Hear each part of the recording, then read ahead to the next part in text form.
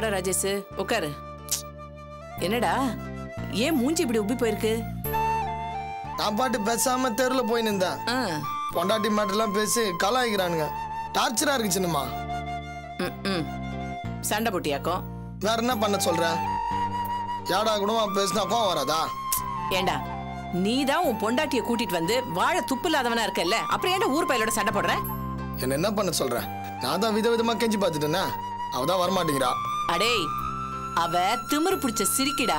உன் கெஞ்சலுக்கெல்லாம் இறங்கி வரமாட்டா. அதுக்கெல்லாம் வேற ரூட் இருக்கு. வேற ரூட்டா என்னது அது? டேய் இப்ப அந்த அபியே எடுத்துக்கடா. அவளுக்கும் எங்களுக்கும் இல்லாத பிரச்சனையா? நடக்காத சண்டையா? இப்ப எப்படி அவ எங்க கிட்ட சுமூகமா இருக்கா? அது எப்படின்னு உனக்கு தெரியுமா? காரணம் என்னன்னு உனக்கு தெரியுமாடா? தெரியல என்ன காரணம்? ம் தொழில்டா அருந்தொழில் இத பாருடா திருநீரு எந்திரம்னு நான் மந்திரிச்சு விட்ட பவர்டா அபி இப்போ என்கிட்ட தலையாட்டிட்டு இருக்கா. உன் பொண்டாட்டி உன் வசத்துக்கு வரணும்னா இந்த மாதிரி சில வேலையெல்லாம் பண்ணணும்டா. ஐயோ என்ன சின்னம்மா நீ? இதெல்லாம் முதல்லயே சொல்ல மாட்டியா? நான் எப்பயோ பண்றப்பல்ல டேய் இது மேல ஒரு நம்பிக்கை வரணும்டா. அதோட அருமை தெரியணும். சட்டு புட்டுலாம் பண்ணக்கூடாதுடா. சரிப்பா பட்டுன்னு கிளம்பலாம். இருடா இருடா. அவசரப்படக்கூடாதுடா எல்லாத்துக்கும். சரி சின்னம்மா. இந்த மந்திரிச்ச துர்னூர்ல மெய்யாவே விஷயம் இருக்குதா? பின்ன இல்லையா. டேய் அந்த வீட்ல போய் நான் விதவிதமா சண்டை போட்டிருக்கேன். இருந்தும் எனக்கு இவ்வளவு மரியாதை இருக்குன்னா அதுக்கு என்ன அர்த்தம்? சரி அபிய விடுறா. உன் பொண்டாட்டியும் சரி அந்த ராங்கிக்காரி ஆனந்தியும் சரி என்னை பார்த்தா பொட்டி பாம்பா அடங்கிடுவாளுங்க. எல்லாத்துக்கும் காரணம் அந்த திருநீரு மந்திரம் தான் அலமேலு கிட்ட இருக்கிற சூட்சமண்டா? இப்போ என்ன பார்த்தா அவளுங்க தர மரியாதை இருக்கு பாரு. சூப்பர் ஆச்சே. நிஜமா தானே சினிமா பொய்யாடா சொல்லுவேன் பாரு நான் பாட்டு அசால்ட்டா இருந்துட்டேன் இனிமே துண்ணூறு வச்சு தூயிடலாம். என்ன சொல்ற? கவலைப்படாத என்கிட்ட சொல்லிட்டல நான் பாத்துக்கிறேன். அடடே இங்க பாரு நம்ம ஆனந்தி வந்துருச்சு. வா வா உட்கார் ஆனந்தி உட்காரு வா. உங்க மனசுல நீங்க என்னதான் நினைச்சிட்டு இருக்கீங்க? எதுக்கு உங்களுக்கு சம்மதம் இல்லாத விஷயத்துல நீங்க தலையிடுறீங்க? அட என்னம்மா ஆனந்தி? வெயில்ல வந்தது டென்ஷனா இருக்கியா? உட்கார் நீர் மட்டும் தரேன். அதெல்லாம் ஒண்ணும் தேவையில்ல. நான் இங்க உட்கார்ந்து பேசிட்டு போறதுக்காக வரல. நீங்க எதுக்கு அனாவசியமா எங்க வீட்டுக்கு வரீங்க? உங்களுக்கு வேற வேலை இல்ல? வீட்ல போர் அடிச்சதுன்னா பூ கட்டுங்க இல்ல எம்ப்ராய்டரி போடுங்க. அதெல்லாம் உன்ன மாதிரி கல்யாணம் ஆகாத வயசு பொண்ணுங்க பண்றது. அப்படின்னா பிரயோஜனமா வேற ஏதாவது வேலையை போய் பாருங்க. இல்லன்னா நாலு வீட்ல போய் பத்து பாத்திரம் தேய்ங்க. அதை விட்டுட்டு எங்க விஷயத்துல மூக்க நுழைக்காதீங்க. ஐயே என்னென்னமோ பேசுற நீ? முதல்ல உட்காரு என்னம்மா பிரச்சனை? எனக்கு நிச்சயம் ஆனா என்ன கல்யாணம் ஆனா என்ன ஆகாம போனாதான் உங்களுக்கு என்ன? உங்க மக எதுக்காக இதுல தலையிடணும்? தொல்காப்பியன் கிட்ட எதுக்காக போய் சண்டை போடணும்? சம்மந்தமே இல்லாம சாந்திய போய் நீங்க கேவலமா பேசிருக்கீங்க. அது எவ்வளவு பெரிய தப்பு? இத பாருங்க. அடுத்தவங்க விஷயத்துல புகுந்து நாட்டாம பண்றத இதோட நிறுத்திக்கோங்க. நல்லா இருக்குமா நீ பண்றது? அந்த தொல்காப்பிய உன்னை ஏமாத்திட்டான். கல்யாணம் பண்ணிக்கிறேன்னு சொல்லி அப்படியே பல்ட்டி அடிச்சிட்டான். அதுக்காக வருத்தப்பட்டு உனக்காக நாங்க நியாயம் கேட்டா என்கிட்டயே சண்டை போடுறியா? நல்லா இருக்காப்பா? கேட்டுக்கோ. ஏங்க இது உங்களுக்கு கொஞ்சம் ஜாஸ்தியா படல? இது என்னோட பிரச்சனை. நாங்க ஏன் கல்யாணம் பண்ணிக்கல? தொல்காப்பியன் ஏன் மறுக்கிறாரு? இதெல்லாம் உங்களுக்கு தெரியுமா? வீணா எதுக்கு சம்மந்தம் இல்லாம மூக்க நுழைக்கிறீங்க? அவர் என்ன கட்டிக்கிட்டா என்ன? இல்ல ஏமாத்துறதா உங்களுக்கு என்ன? இதுல உங்களுக்கு என்ன பிரச்சனை? ஏய் என்ன நீ எப்படி பேசுற? என்ன இருந்தாலும் நீ என் மருமகளோட தங்கச்சி இல்லையா? அதெல்லாம் எப்பவோ கோர்ட்ல அறுத்து விட்ட விஷயம். எங்க அக்காவே உங்களுக்கு மருமக இல்லன்னு ஆயிடுச்சு. அப்புறம் நமக்குள்ள என்ன உறவு? நீங்களா வழிய வந்து உரிமை எடுத்துக்கிறீங்களே உங்களுக்கு வெக்கமா இல்ல? எங்க அக்கா கம்பெனில உட்கார்ந்து சாப்பிடுறீங்க போய் தொலைங்க. அதோட உங்க வேலையை நிறுத்திக்கோங்க. சொந்தம்னு சொல்லிக்கிட்டு எங்க வீட்டுக்குள்ள வர்றதோ இல்ல குடும்ப விஷயத்துல தலையிடுறதோ வேண்டாம். அதே மாதிரி எங்க சம்பந்தப்பட்டவங்களையோ இல்ல எங்க ஃப்ரெண்ட்ஸையோ கொச்சப்படுத்தி பேசுனீங்க. மரியாதை கெட்டுடும். ஜாக்கிரதை. என்ன சின்னம்மா? இந்த திருநூறு விபூதி எல்லாம் வேலைக்கு ஆகுது போல இருக்குது? இவன பெரிய மங்கம்மாவா? பெருசா சபதம் விட்டு போக. என்ன பத்தி தெரியாம கத்திட்டு போறான் கழுத. இருக்கட்டும். இவளுக்கு எப்படி ஒரு நல்லது நடக்குது நானும் பாக்குறேன். அது சரி இந்த விபூதி எடுத்து நம்ம சும்மா இருடா. நானே கடுப்புல இருக்கேன். இவன் ஒருத்தன்.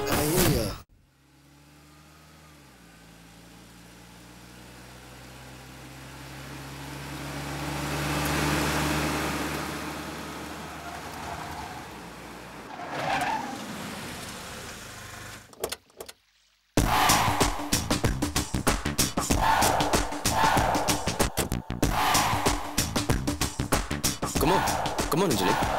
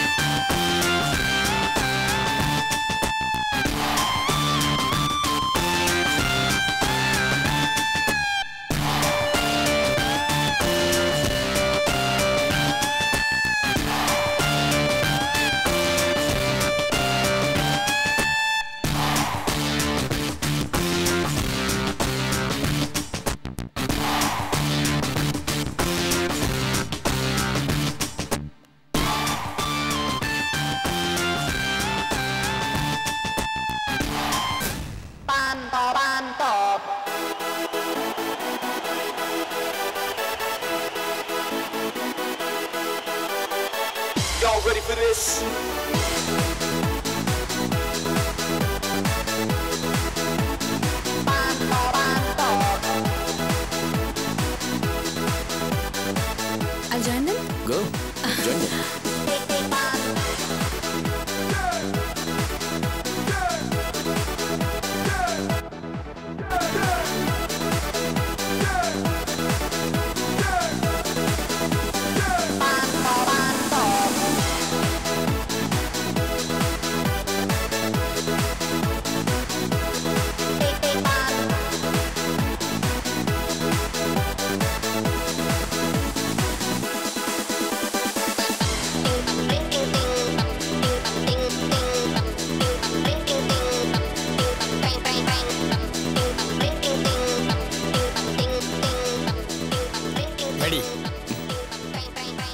வாடா மச்சான் எல்லாத்தையும் ரெடி பண்ணிட்டியா?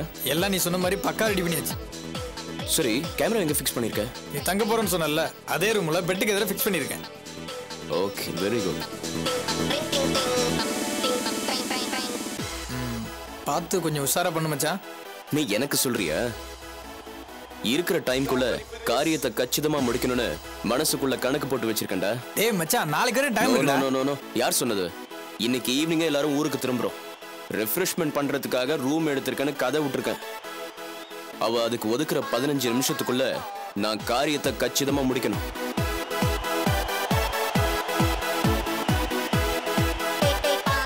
என்னடா? உன் ஃபேஸ் இவ்ளோ நர்வஸா இருக்கு? காரியத்தை நான் தானே பண்ண போறேன்? நீ எதுக்கு பயப்படுற? இல்லடா அவன் அண்ணா பெரிய கோடீஸ்வரன். செல்வாக்கான ஆள் வேற. ஒரு சப்பையான ஆளுகிட்ட இவ்ளோ ரிஸ்க் எடுத்து ஏன்டா கேம் ஆடணும்? இவ கோடீஸ்வரிங்கிறதுனால தான் இவ்ளோ பெரிய ரிஸ்க் எடுத்து நான் இந்த காரியத்தையே பண்றேன்.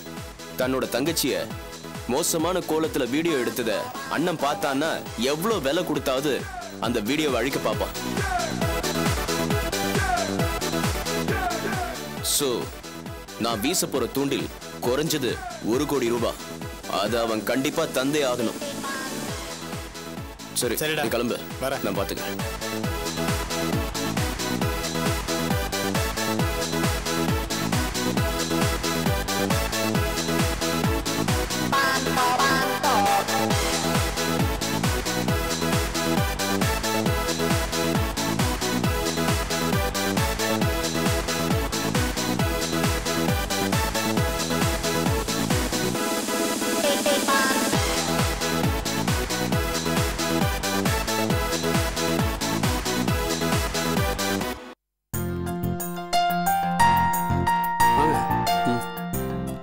ஏண்டா பாரதி.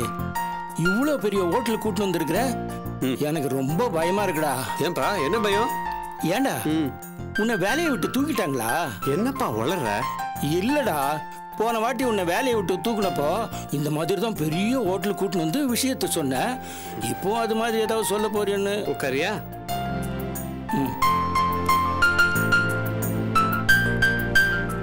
இந்த பாரு.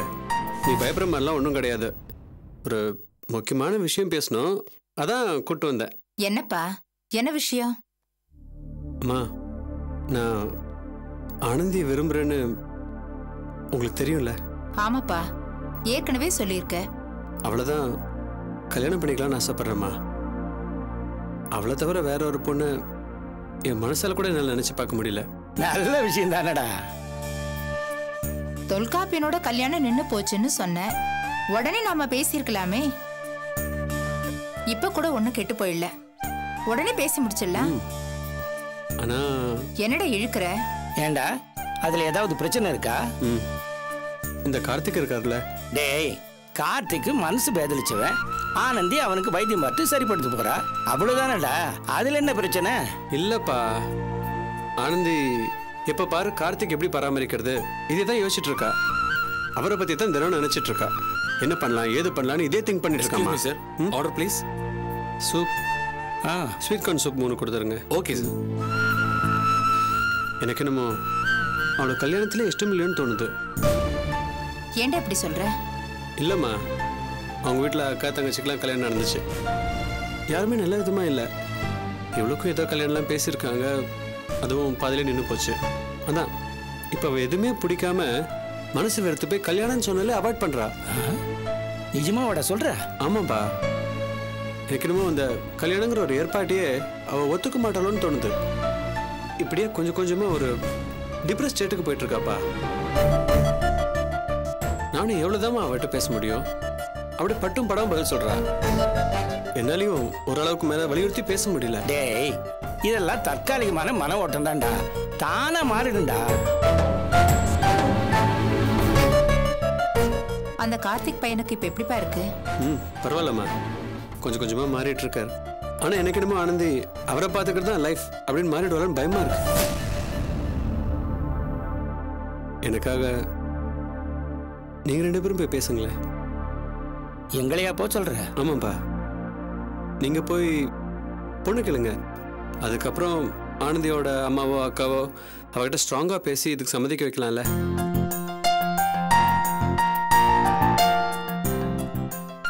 சரிப்பா. நீ இவ்வளவு தூரம் சொல்லும்போது நாங்க போய் கேட்காமல இருப்போம். கண்டிப்பா போய் பொண்ணு கேக்குறோம்ப்பா டேய் எல்லாம் உன் மனசுபடி நல்லதே நடக்கும். கவலையே படாதே.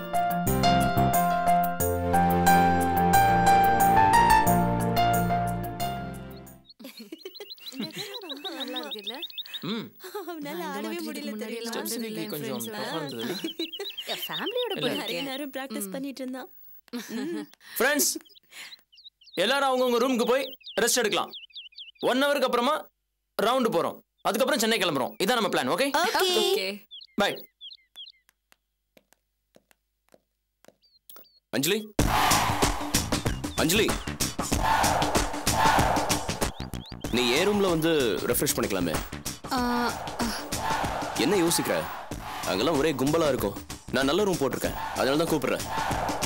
தயங்காம வா Anjali. Okay come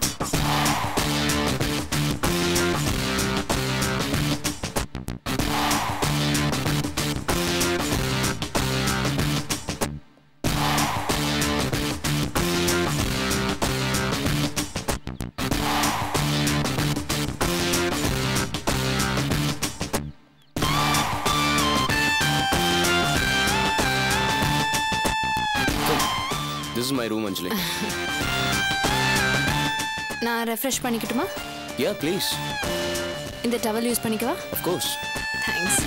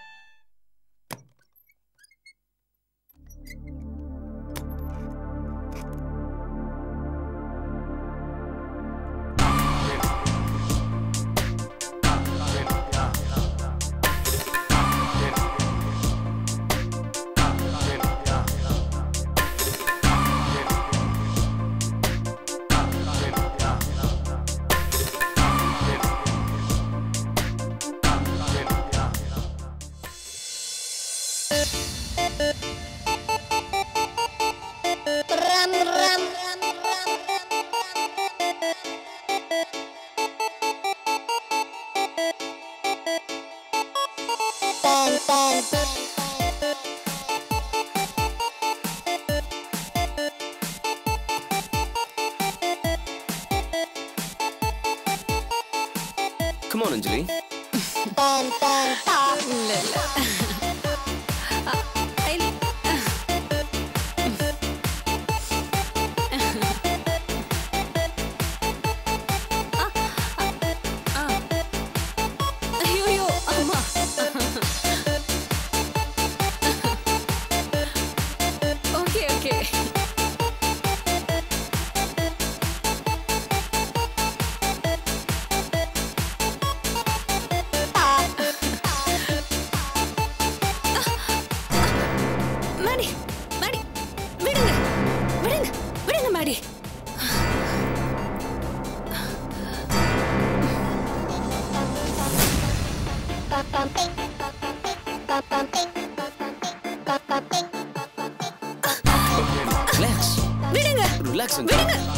விடுங்க விடுங்க